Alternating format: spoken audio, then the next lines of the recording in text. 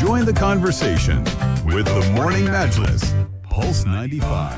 So, WhatsApp is currently the largest messaging service in the world with over 2 billion monthly active users. Following that, Telegram accounts for 400 million and Signal accounts for 10 to 20 million monthly active users. So, clearly, WhatsApp is very popular throughout the whole globe, and we seem to be very dependent on it.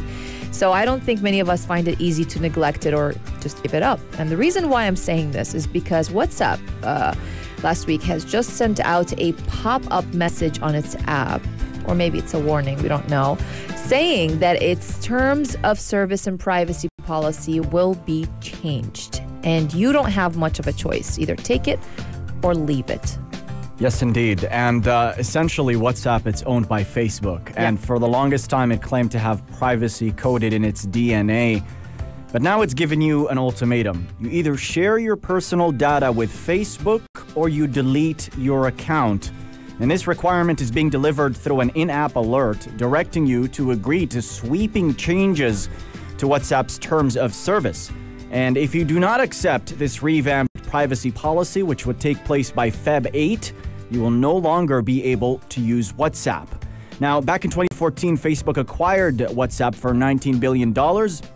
Following the acquisition, they built state of the art end to end encryption, and the move was seen as a victory for privacy advocates. In 2016, however, WhatsApp gave users a one time ability to opt out of having your data turned over to Facebook. But now, with this change, you either share your data with Facebook or you don't use the app at all. So basically, this message, the warning message, Mm-hmm. it comes as WhatsApp is updating its terms and privacy policy. If you have seen it or if you haven't, I'm just telling you what, what it contains. Mm-hmm. Yeah. So basically, it says key updates include more information about one, WhatsApp's service and how we process your data. Number two, how businesses can use Facebook hosted services to store and manage their WhatsApp chats. Number three, how we partner with Facebook to offer integrations across the Facebook company products. So by tapping agree, you accept the new terms and privacy policy, which take effect on February 8th. After this date, you'll need to accept these updates to continue using WhatsApp. You can also visit the Help Center if you would like to prefer to delete your account and would like more information. So they're basically saying agree to this now or delete your account. Look, the, the, what they're saying is still is that WhatsApp will continue to remain end-to-end encrypted as Yeah. we know it, and they, the app still can't see your messages nor share it with anyone. Mm. On the surface, it looks true, but in your heart and mind, you know that's not true. Yeah. yeah.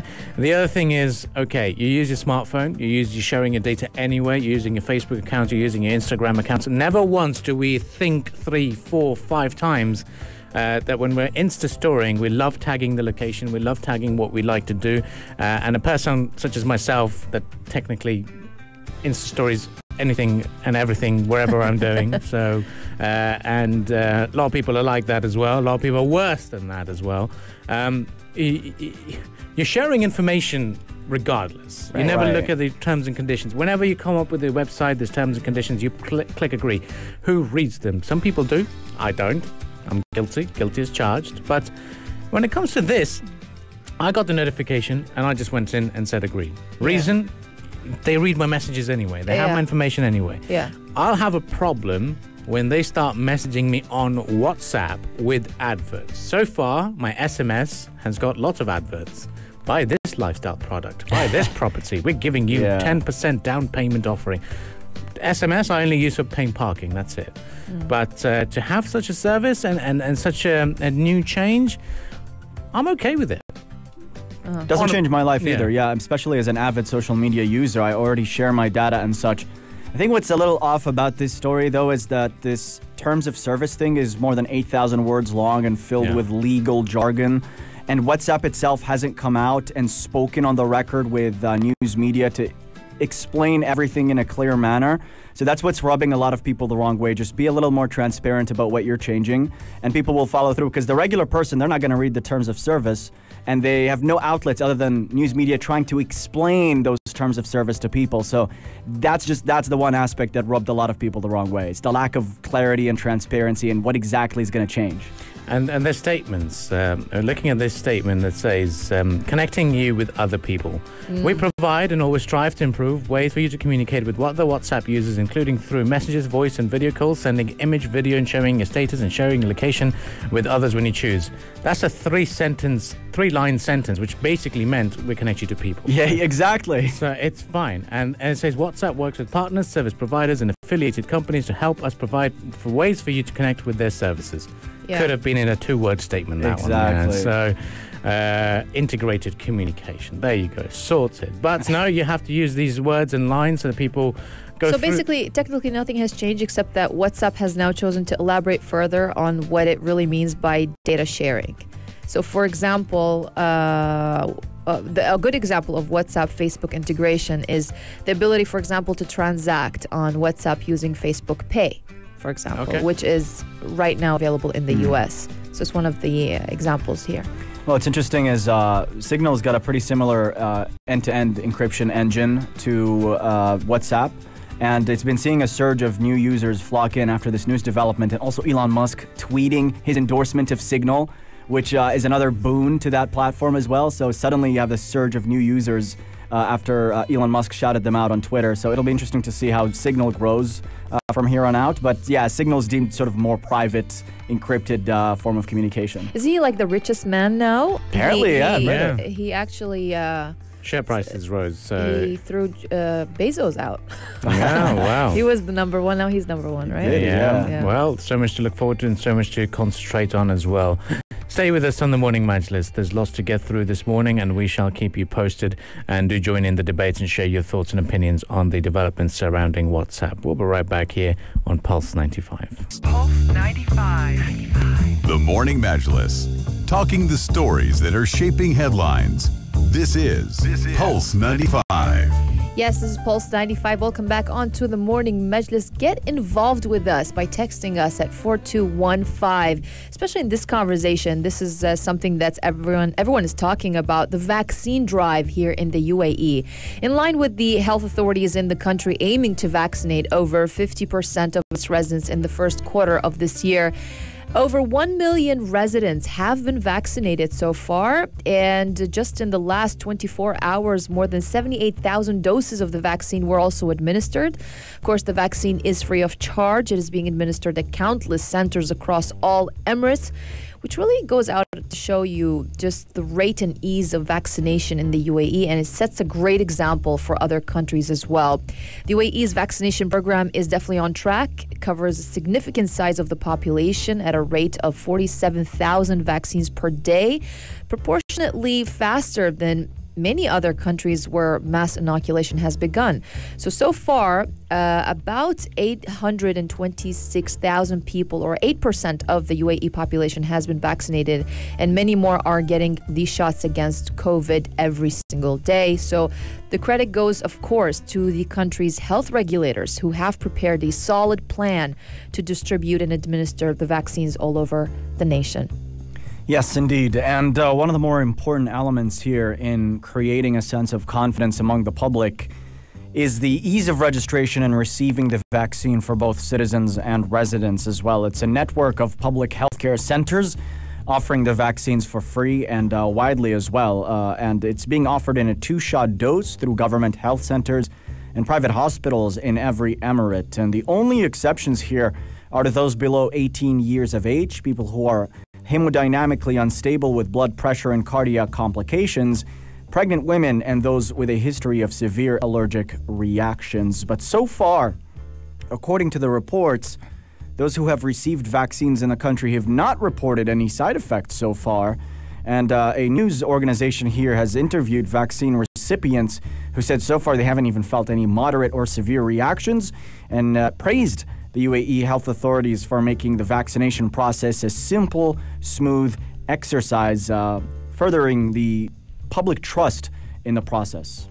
Yeah, it looks uh, pretty good so far because uh, there's a couple of people within our own team here at Pulse 95 and uh, the Sharjah Broadcasting Authority that have uh, taken the vaccine, and uh, they appear to be very calm and, and, and good and, and in good shape. And uh, there's a lot of people who uh, I've spoken to and interviewed as well who said they, they did it because they got the Sinopharm vaccine because the authorities and the senior leadership were were, were photographed taking it, so they had a bit of a trust building element there, and uh, the the uh, the fact that it is so widely available at all health centres across uh, Sharjah and other Emirates, uh, and yes, in Dubai, there's a huge emphasis on um, uh, on Pfizer vaccine with seven medical centres now giving out those uh, vaccines, but there's always been a bit of a queue for vac for Pfizer vaccine, and then there's not a massive queue for Sinopharm because it is so widely available at Yeah. different healthcare uh, centres across the nation. Even though Dubai Health Authority said yesterday that it had opened a seventh health center to, off- to offer the COVID 19 Pfizer BioNTech vaccine, so it's becoming more widely available, but of course not as the, as the, the Sinopharm one. but uh, the UAE yesterday actually recorded almost 3,000 new coronavirus cases and five virus related deaths. Uh, officials from the Ministry of Health and Prevention said the total number of cases since the pandemic began had reached about 200 or just over 227,000 cases, while the death toll rose to 702. It also said that 2,264 people had recovered from the virus in the past 24 hours, thankfully. But the total number of recoveries um, also is, is, is at 203,660. Some those those figures just show you uh, that, or the figures of the, especially the the new coronavirus cases that were recorded yesterday, almost 3,000 cases. That just goes out to show you why it's so crucial to uh, to go take the vaccine. Yeah, just goes to show, doesn't it? So Yeah. it, a lot of people are. It's just not over. It's Yeah. not, it's not No. even people Yeah. talking about it. It just makes uh, things and gets people to get feel a bit reassured as well. Yeah. Uh, certainly. So what we'll do is we'll take a bit of a break. Uh, let us know on the text lines four two one five if you've uh, if you are planning on getting yourself inoculated and uh, if you've heard of uh, any interesting stories related to uh, the the vaccine and uh, if you have any words of encouragement as well, do let us know on the text lines four two one five. It will be great to share it with the uh, the wider audience. Well, we'll take a bit of a bra- breather, a bit of a break, and we'll catch up with what's been happening uh, to uh, Mr. Donald Trump, who has not had the best of all starts to the year 2021. All of this will be discussed right here on the Morning Majlis. Join the conversation with the Morning Majlis, Pulse 95. Everybody, welcome back uh, to the Morning Majlis. Now, last week on January 6, uh, rioters supporting U.S. President Donald Trump, in an attempt to overturn his defeat in the 2020 elections, stormed the United States Capitol, uh, vandalizing and ransacking and occupying various parts of the building for several hours. And as a result, uh, there were the deaths of four people and um, pretty much uh, this is a disruption within the proceedings of the Senate. Now, in the aftermath of that, uh, Twitter has suspended Trump's account on the platform permanently. And they said it's a punishment for his role in uh, what they said was the incitement of violence at the U.S. Capitol that day. Uh, this is notable because it's uh, the first time Twitter has banned a sitting presi- president, and also it Twitter is Trump's megaphone. It's his primary means of communicating with more than 88 million supporters and critics that follow him on this platform. So, a historic rebuke and also House Speaker Nancy Pelosi setting the stage for another impeachment. That's true. Speaker Nancy Pelosi of California threatened on Friday that the House could move to impeach President Trump over his role in inciting a violent mob attack on the Capitol if he did not resign immediately, appealing to Republicans to join the push to force him from office. So, after a three and a half hour call with fellow Democrats, Pelosi said she had instructed the Rules Committee to be prepared to move forward with either a motion for impeachment or legislation sponsored by Representative Jamie Raskin, Democrat of Maryland, to establish a body under the 25th Amendment that can declare a president is quote, unable to discharge the powers and duties of his office. So she said uh, in a statement, it is the hope of members that the president will immediately resign. But if he does not, I have instructed the Rules Committee to be prepared. So obviously, this announcement came after a, c- a call that Pelosi called sad, moving, and patriotic in which members recounted the terror of the violent attack on Capitol uh, Hill from uh, from Trump supporters. So she said he must be held accountable for his actions. Well, according to his plans, he will not be there for Biden's inauguration. Mike Pence will attend instead, along with senior uh, uh, other senior administration officials. Democrats will take control of the Senate later this month after Georgia certifies two runoff elections uh, won by Democratic challengers. Uh, and uh, so far, we, what we do know is Twitter has permanently cut off Trump's personal accounts and access to his nearly 90 million followers later Friday. But there's more Twitter accounts uh, that have emerged uh, that appear to be Donald Trump and uh, on a different name. Uh, and it, it's certainly getting a lot of traction on, on Twitter for sure. But uh, a very worrying sign and uh, not the best of all starts to 2021 for POTUS at all. Yeah, not at all. And the, the thing about this is, I mean, Trump for quite some time now has been questioning the uh, integrity of the United States elections, and that's been uh, a subject of great debate and also criticism from uh, politicians, uh, notably former President Barack Obama, who said, You're undermining our democracy by making those uh, accusations and claims. But it is those uh, statements and sentiments that fueled much of the violence that erupted last week on the, Jan- on the 6th of January. And there's still concern that pro Trump extremists might disrupt the inauguration of Joe Biden in one way or another. So there's that concern that there might be more violence, especially when Trump had doubled down on his stance. Uh, that he would not attend the inauguration. And uh, yes, he had used multiple Twitter accounts mm. to do mm. so. Those accounts were swiftly suspended. Uh, there's also a large movement uh, by those tech companies to suspend other uh, right wing affiliated accounts, uh, notable personalities, media figures, even aides of Donald Trump's all being suspended or permanently banned from a number of platforms. So, pretty much uh, the suspension of Trump was the first domino falling, but following that, we've seen tens of thousands of accounts uh, disappear overnight. That's right. Yesterday, yeah. Yeah, well, actually, yeah, he did uh, continue tweeting Friday evening using the government-owned POTUS account, despite having his uh, at re- uh, real Donald Trump account permanently suspended by Twitter earlier in the day. He said, uh, "As I have been saying for a long time, Twitter has gone further and further in banning free speech, and tonight."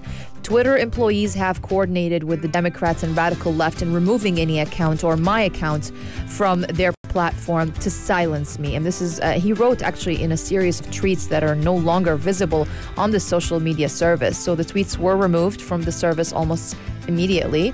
It's unclear what steps Twitter took in the handling of the POTUS account. Yep, and uh, really is uh, going to be very interesting to see what happens next. Uh, a lot of people voicing their opinion saying they want him out, uh, and uh, if they do not resign, the mm. Senate must expel them. Uh, but what's going to happen next is uh, still a big question mark because if, when you look at things, the inauguration is in 10 days. Should one let it be? Because there's a big, big uh, opinion on Twitter, for example. They're saying the man who cannot be trusted to have a Twitter account still has the nuclear codes. Uh, so we should get rid of him. That's the idea. Exactly. And uh, House Speaker Nancy Pelosi, in fact, reached out to White House figures and pretty much discussing uh, revoking his access to the nuclear line. So that's another thing as well. And look, if they go forth with this impeachment, and if Trump gets convicted of inciting violence or such, he wouldn't be able to run in 2024. So that's sort of another angle to this. Like if they do go forth, people might ask, hey, he's, he's going to be leaving anyway. Why impeach him? Because mm. if he's convicted, he's not going to be able to run for public office again. Yeah. Uh, so that, that, that's another thing as well. And the threat of that, they're trying to force him out maybe now. Uh, it's it's it's a sort of an interesting situation to follow, but certainly all eyes are on the 20th really of January. point out. yeah. yeah all eyes will be on it for sure. Let's see what happens. Uh, it, for now, we do know that it's going to be uh, a spectacle and a half for sure. And uh, it is pretty much like a, a sporting contest anyway. But uh, we'll keep you posted about all of that. Well, stay with us on the Morning Majlis. Right after this, we have the sports headlines, and uh, we shall return. Speaking of nuclear arsenal, there's more nuclear arsenal to be discussed for sure as North Korea is also uh, flexing its muscles. Stay with us on the Morning Majlis. We shall be back again and uh, we'll continue the discussions with you. And if you'd like to share your thoughts and opinions, you can do so on the text lines 4215. This is the Morning Majlis on Pulse 95. Join the conversation with the Morning Majlis, Pulse 95. Welcome back onto the Morning Majlis. We're talking all things weather here for sure, but things have been heating up over in North Korea, especially after Kim Jong Un appeared in a in a in a meeting for the uh, the council and uh, wasn't very pleased with the economic plans. But now he's made another massive pledge. Indeed, and uh, observers have been closely monitoring uh, Kim Jong Un and the state of North Korea ahead of uh, President elect Joe Biden taking office to get an idea as to how he would handle the United States moving forward. Well, he's made that pretty clear. He called the United States his country's, quote, biggest enemy and vowed to advance his country's nuclear arsenal. Now, here's the statement from uh, the official Korean Central News Agency. Quote, our external political activities must focus on controlling and subjugating the United States, our arch enemy and the biggest stumbling block to the development of our revolution. This is North Korean leader Kim Jong Un. He said, quote, no matter who takes power in the United States, its true nature and its policy toward our country will never change. He made those remarks during the Workers' Party's 8th Congress in Pyongyang uh, and uh, President-elect Joe Biden had promised, quote, principled diplomacy with North Korea ahead of his taking office, uh, which might imply a break with President Donald Trump's high stakes summits with Kim Jong un. He's also indicated that he'd work closely with U.S. allies South Korea and Japan. But uh, yeah, certainly all eyes on this situation and a lot of concern being expressed uh, about the rhetoric uh, that Kim Jong un's expressing. Yeah, yeah. In yesterday's declaration, he included uh, included a call to develop smaller and more adaptable nuclear warheads. Comes less than two weeks before the inauguration of Joe Biden as U- U.S. president, and after a uh, let's just say a relationship, uh, kind of a relationship uh, between Kim and the outgoing Donald Trump. They're calling it a bromance, actually. Oh, yeah. Kim and Trump actually first engaged in a war of words and mutual threats before an extraordinary diplomatic bromance, let's call it again, that featured headline grabbing summits and declarations of love by the U.S. president. But no substantive uh, progress was made ever since, with the process deadlocked after a meeting in Hanoi broke up over sanctions relief and, and, and what the North would be willing to give up in return.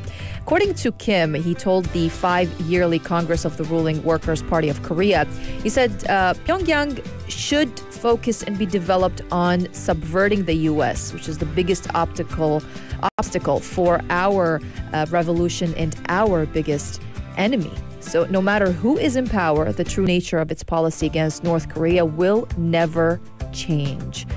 So, this is what's been going on. Pinpointing towards uh, good old Mr. Biden, who's going to be taking over from the 20th of January. So there, there is a little bit of a, a flex of the muscle now uh, to influence uh, whatever uh, Biden had in store for the policy towards uh, North Korea. But he's uh, been backing things up, Mr. Kim Jong Un, saying that it is all about making sure that the weapons will remain and will be used unless hostile forces, or they will not be used until hostile forces were planning to use them against North Korea first. Yeah. And uh, it is going to be interesting to see what happens now because North Korea has been closed uh, since last January uh, to prevent the COVID from entering the country. So, and they say that they've not had a single COVID case since the pandemic began. But question marks still remain. He did tell the Congress that new planning research for a nuclear powered submarine has been completed and is to enter the final examination process. The country should further advance nuclear technology and develop small sized, lightweight nuclear warheads to be applied differently depending on target subjects. He said North Korea must also advance the precision attack uh, capability on targets in the 15,000 uh, kilometer striking range, which is an apparent reference to the U.S. mainland, and develop technology to manufacture smaller, lighter nuclear warheads to be mounted on long range missiles more easily. He also continued by saying nothing would be more foolish and dangerous than not strengthening our might tirelessly and also having an easygoing attitude at a time when we clearly see the enemy's state of the art weapons are being increased more than ever. The, re- the reality is that we can achieve peace and prosperity on the Korean Peninsula when we constantly build up our national defense and suppress U.S. military threats. Yeah, certainly all signs pointing to uh, a pretty hardline stance taken by uh, North Korea and also points to the collapse uh, of the talks that they had back in 2019 in Vietnam with Donald Trump in that summit. The all hopes of reaching that denuclearization deal with the United States uh, falling apart, and uh, Kim pledging to unveil new strategic weapons and to test them as well. No longer bound by that moratorium on testing strategic weapons, and uh, pretty much leaving everyone else on edge, including South Korea, the neighboring country. Yep, of course, and uh, really is going to be um, uh, something that a lot of uh, experts are also looking at, and they're saying that Kim's interest in tactical or low yield nuclear weapons made sense, even though they can be very inefficient in the use of uh, uh, fissile material, which isn't easy for North Korea to get. North Korea's interest in these weapons isn't surprising from a strategic point of view. In fact, it augments Kim's preferred nuclear strategy quite well and uh, Kim Jong. Uh, uh, and what we're saying is that they are. Um, Con- what they're looking to combat is a potential a conventional domestic invasion as well. So what we'll do is uh, we'll continue the discussions here on the Morning Majlis. We shall con- uh, be right back after some more musical entertainment, and up next we shall discuss uh, the important and significant rise in the smartphone industry. What's going on? All of this will be discussed right here on the Morning Majlis. So do stay tuned to Pulse 95. We'll be right back after uh, some more musical in, uh, entertainment. Join the conversation with the Morning Majlis, Pulse 95. Well, we go over to South Asia. In particular, we're talking about Pakistan. So much has been happening in the past day, really, in the past 24 hours, especially when we're talking about Karachi. A breakdown in Pakistan's national power grid plunged the country into darkness last night. Major cities of Pakistan faced a total blackout following a massive power outage caused by fault in main transmissions light or lines. Um, Karachi, Lahore, Islamabad, uh, Peshawar, um, and other cities plunged into the darkness due to the electricity failure. The electricity breakdown also hit Azad Kashmir, while also uh, mobile and internet services were affected at the time of filing this report. And as the outage hit the cities, federal information minister said that there is a technical fault in NTDC system. System is being restored. Yeah, indeed, Rania. And uh, blackouts sometimes occur in Pakistan because of chronic power shortages, with many areas having no electricity for several hours a day. The issue had previously led to street protests in the country, and also the fact that a lot of essential facilities, for instance, hospitals, they always, they always have these backup diesel generators uh, to be prepared for what is not an unusual occurrence in the country. Yeah. Well, y- you don't get uh, power outages at the national level. Um, Certainly, yes. Yeah, and, and uh, this is this has been very scary at the moment. And what we do know, I'm looking at Twitter at the moment. Some people have been tweeting say, saying that Karachi's power was restored at 5 a.m. Lots of people saying, "Oh, I'm in North Karachi, power still not resumed." Uh, some people saying, "I'm in Malir area of Karachi, power still not resumed," uh, and. Uh, it's it's it's worrying indeed uh, that if a national grid has to fail, that there was no other backup plan for a massive city, a metropolis that has a population of, of, of about at least 25 million people. It's a lot of people Yeah. uh, when you think about it. So uh, and uh, uh, all other major cities also faced uh, a bit of a, a blockout, uh, blackout. And there's one person who just said on Twitter uh, four hours ago, "I flew in from Florida to Karachi for vacation during the holidays, and now my power is gone. Uh, it looks like I need to find a new vacation spot." Uh, so, so that's yeah, and they're saying the complete restoration of the electricity supply across the country will take up to 12 hours at this moment. Oh, Yeah. But thankfully, efforts are underway to determine the reasons before uh, behind this situation and and how to kind of avoid it in the future. Yeah. Well, But also in, in Karachi, uh, there was a fire that erupted at a chemical factory Right, yeah. as absolutely. well uh, last night or yesterday. Uh, eight people were injured when this fire, eru- uh, fire erupted. Several people are still trapped inside the factory building, and, and rescue teams are trying to evacuate them. Still, six fire engines worked uh, to douse the massive blaze that just happened, and, and the Water Board of Karachi has declared an emergency in the city, and more fire engines are being sent to the site to minimize the impact of the blaze, which engulfed the entire factory in a feared to spread to nearby buildings as well. Yeah, this is This happened actually now. It's an ongoing situation, Yeah. and uh, the district administration said it may take uh, some hours to douse the fire due to its serious nature. So far, the cause has not been determined.